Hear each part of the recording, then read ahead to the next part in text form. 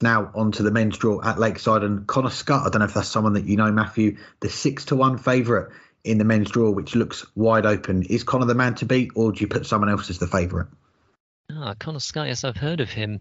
uh, right. So, just uh, declaration of interest. We have to say it. Connor and I are friends, so um, that is an issue when I'm talking about this yeah. question. I think it's too open, really, to uh, you know make standout favourites for the reasons that you have already stated. Um, it, it is so open, and anyone can be anyone. Yes, it's a cliche, but I really do think that is the instance um, in this case. I think if you look, uh, I think a good place to start in terms of the men's draw is looking at those guys that are actually in, uh, you know, PDC action, because lest we forget, those that have won a tour card in January, rather you know quote unquote controversial in some quarters, of course, because some people opted not to go to Q-School so they could play at Lakeside. Then it got postponed. Some people then who had already qualified for Lakeside then won a tour card. Only Ross Montgomery didn't choose to take it up, uh, their place at Lakeside, because they've now been granted uh, this one-off extension. And that's a good place to start because they're obviously playing at a high level. And just looking at the German Pro Tours, well, perhaps surprisingly, one of the players that, that, that we, perhaps we should be looking at and giving more attention to is Scott Marsh, because actually, of all of those players that will be playing Lakeside that played in Germany, he won the most matches. He won three. He beat, uh, including Devon Petersen and Mads Rasmussen. Rasmussen, of course, had a, a fantastic run on on that semi final, and Scott Marsh beat him on the Sunday. Um, Brian Roman, Nick Fullwell, Van Dongen and Connor Scutt all had one win each. And Tricole, meanwhile, had no wins. So, you know, that's a good place to start, I think. I think obviously what this is begging for in terms of the men's draw is is the sort of the creation of a new star or two uh, to really sort of you know carry the flame um, for the, WDF. It'd be obviously be interesting to see if any of those guys do actually go on and, and win it, and, and whether that sort of means they can kick on in terms of the PDC. I think Connor's been given that sort of favourite status because he's fared the best out of those guys so far uh, on the Pro Tour because he had that semi-final run earlier on in the year. But you know that's the beauty of that was always the beauty of Lakeside in the past, new names coming through, um, and I think that's you know a golden opportunity here.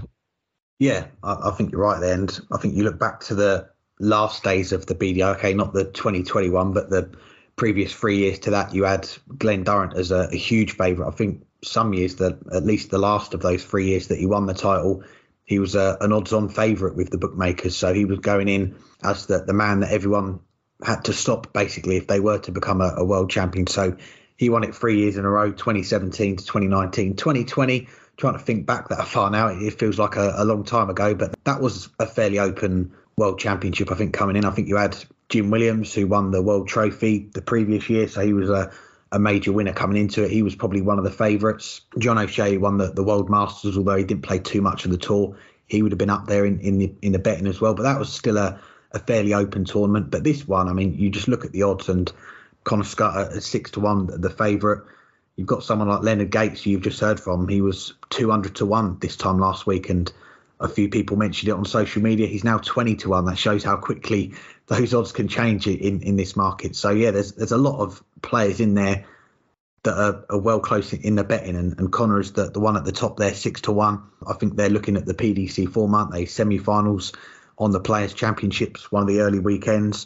He's one of the players, as you say, that's got that tour card. He's had a lot more match practice at the elite level heading into this tournament. So with that, you, have got to say he's going to be one of the, the favourites. And of course, he's, he's had that taste of the big stage. We were there in Minehead a, a few weeks ago, and we, we saw him on that main stage get a win. So he's got a little bit of main stage experience under his belt, and that's one of the, the factors that you've got to take into this tournament. Is as I said, you are going to see a lot of new faces. You're going to see a lot of players making their World Championship debut, and I was trying to do a a quick head count um, earlier. I think it's probably around half the field, maybe even a little bit more than that, that haven't played in a, a steel tip world championship before. And there's probably more that haven't played at Lakeside before. So you've got a lot of unknown quantities in there going into this. So for me, I probably wouldn't put Connor Scutt as the favourite. I'm probably looking at someone that's maybe got a little bit more stage experience, maybe someone that has played at the Lakeside before. And for me, I'm looking at a a fellow PDC tour card holder, I'm, I'm looking at Cameron Menzies, and he's the the second favourite at the moment, going off the uh, the Ladbrokes uh, betting. He's eight to one, joint second favourite, and he's someone that he didn't play in the the Pro Tours at the weekend in Germany. Decided to have a, a weekend off, and you look at the averages for the the Players Championships this year. He's 32nd, 94.04, and he's picked up a lot of scalps already this year. He's beaten Michael Van Gerwen, Jose de Sousa, Simon Whitlock, Suljovic, and he's not too far behind Connor Scutt on the order of merit. I think it's only a, few thousand pounds. And as I say, he didn't play this past weekend, so he's someone that has got a, bit more experience than Connor on the main stage. We've we've seen him play in a World Championship before. We've seen him play the Grand Slam before. So for me, I'm I'm probably putting Cameron Menzies as, as my favourite. But aside from that, you're probably looking at someone like Martin Adams, who is still going strong, and uh, he's got bags of, of experience at the Lakeside. He's only won it three times, and he's played was it 26 World Championships. So we all know what he can do, and he's still doing it at that level. So yeah, you've got players like him. You've got players like Luke Littler, who's the other side of the scale on, on the age uh, on the age category, and he's making some big strides at an early age as well. So for me, I, I probably wouldn't put Connor as the, the favourite. I'll go with Cameron Menzies, but like like I mentioned earlier, I, I, think there's so many names that you could pick out. You could probably pick out eight names now, and they might all be out before the last 16. Yes, it is very, very open, isn't it? Uh, in terms of uh, those uh, those early rounds, um, what do you make of the fact that it is, uh, you know, an extended field this year? Now, which of the first round ties are you most looking forward to? Well, Burton and I we discussed this question when the draw was first made, and that was back in December. So four months ago since uh, then, and we, have now come to the tournament, and there's been a, a, slight change in the draw, the the order of play, because we've seen a few players withdrawn, we've seen some players move into the seed. So there's been a few changes, but one game which has definitely not changed, and I'm glad about that because it's the game that is still going to open up the tournament, the first WDF World Championship, and it is Martin Adams against Jarred Cole. You've got Martin Adams, 65 years of age. He's 27th World Championship. He's back on that lakeside stage for the first time in four years, going up against someone that is one of those debutants. Jarred Cole, 21 years of age. He's now the ADC Global World Champion, the uh, the title that was formerly the MAD World title. He's still the holder of that, so he's had a, a little bit of uh, stage experience recently he's making his uh, his debut in the tournament and going up against someone that has, has been there and done it. That is, uh, you know, a battle of the the generations, if you like. Are we going to see uh, another win for Martin on that lakeside stage, or are we going to see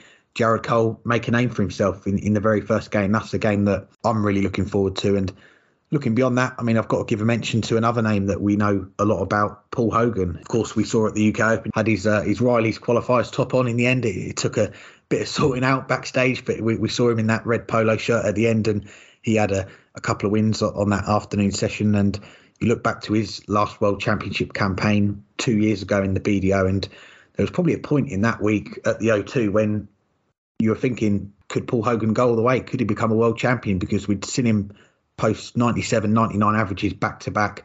And there was a lot going on behind the scenes that week, a lot of tension about the prize fund, about the future of the BDO, a lot of players thinking about going to Q school. There was none of that for Paul Hogan. He was playing carefree, and I think that is still the case for Paul. I think he's just turning up and enjoying his darts, and if he can produce his A game, he's going to be a, a, match for anyone in the field. And going up against Justin Thompson, a, a tricky customer on his day, and he, he's someone that pre-pandemic we were seeing quite a bit of on the BDO circuit. We were seeing him in the World Championships.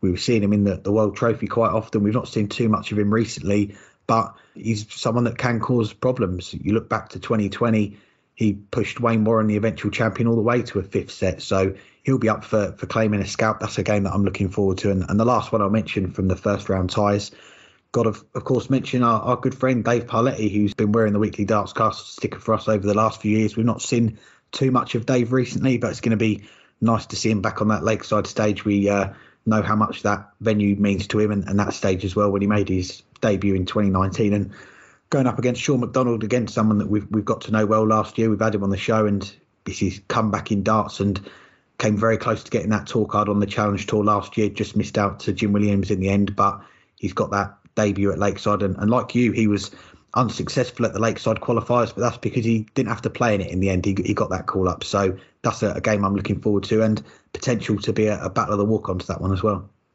Yes, I'll just pick out one, one or two more uh, without risk of uh, naming the whole draw between the two of us.